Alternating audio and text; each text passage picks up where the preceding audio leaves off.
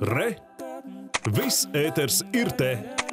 Aizsardzības ministrs Artis Pabriks vēl šodien piedalīsies Eiropas Savienības aizsardzības ministru sanāksmē Brestā, Francijā, lai pārnātu aktuālos aizsardzības un drošības politikas jautājumus. Kuri jautājumi īpaši svarīgi Latvijai un ko jau vakar ministri pagūši apspriest, to tūlīt arī mēs jautāsim mūsu valsts aizsardzības ministram Mārtim Pabrikam. Labrīt! Labrīt! Labrīt! Iezīmēt lūdzu tad galveno ap ko vispār šī neformālā sanāksme, var teikt, gravitē un ko tad vakar ja uz pirmo dienu atskatāmies, esat jau sasnieguši, pārunājuši? Jā, nu, uh, gravitē šī sanāksme, protams, ar diviem konceptuāliem dokumentiem, kas ir strateģiskais koncepts un arī NATO nākot, nākotnes koncepcija, kas šogad ir jāizstrādā, jo iepriekšējā ir novecojusi. Bet, protams, ka tas viss aiziet tādā uh, Krievijas ēnā. Un vakar aplūkots arī tādiem svarīgākiem jautājumiem, kas sevišķi aktuāls arī parādījies tagad ir e, Francijas prezidentūrai un ne tikai proti par um, Krievijas e, neformālajiem militārajiem, mm, militārajām vienībām, kas tiek izmantotas uh, ārpus Krievijas valsts, vai tā ir Sīrija, vai tā ir dažādas Āfrikas republikas, vai tā ir Ukraina. Eh, un eh, tas arī nozīmē to, ka mm, gan NATO, gan Eiropas Savienībai šeit būtu jāspēr kopīgi atbildes soļi. Piedalījās sēdē ar, arī NATO ģenerālsekretārs eh, Jens Stoltenbergs, kurš ziņoja par vakardienas NATO un Krievijas sarunām, kur nu, rezultāts tāds, kā Krievija to vēlējās, protams, netika sasniegts.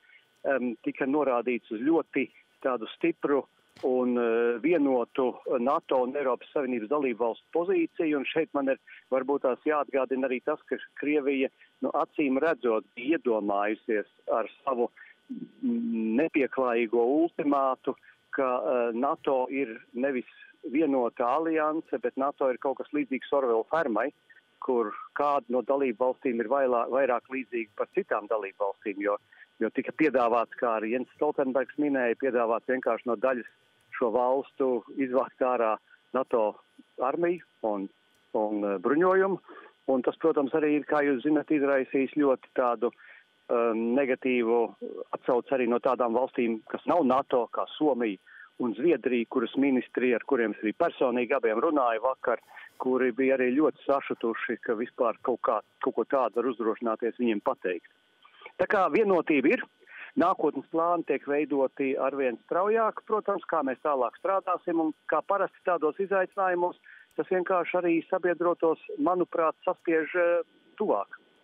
Īsumā jūs pieminējāt arī vēl Somijas, Zviedrijas ministrus. Jums arī vairākas personīgas divpusējās tikšanās vēl arī šajā dienā plānotas. Vai ir kaut kas tāds, ko jūs īpaši pats gaidāt, kas ir svarīgs arī no Latvijas aizsardzības sadarbības viedokļa?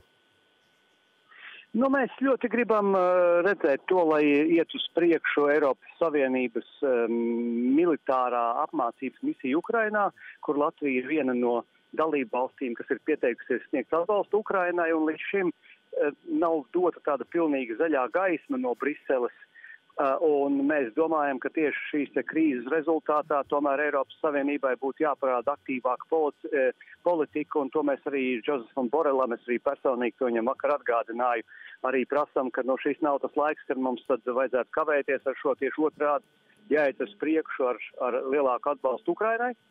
Un uh, cits starpā, protams, arī norādīja uz uh, um, enerģētikas politiku, ņemot vēl vērā pieaugušās gāzes cenas un strīdus starp um, Franciju un Vāciju par to, vai atomenerģija ir iekļaujama pie zaļas enerģijas. Šeit arī izteicu atbalstu komisijas piedāvājumam, jo es neredzu, kā Eiropa var saglabāt enerģētisko neatkarību gan no Krievijas, gan visādi citādi bez atbalsta uh, Eh, modernai un drošai atomenerģētikai. Tā kā nu, šeit eh, arī komisija bija ļoti priecīga, ka es par šo jautājumu arī izteicos vakar.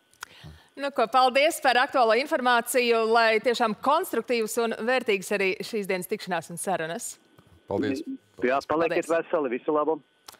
Arts Pabriks, Latvijas aizsardzības ministrs par Eiropas Savienības aizsardzības ministru neformālo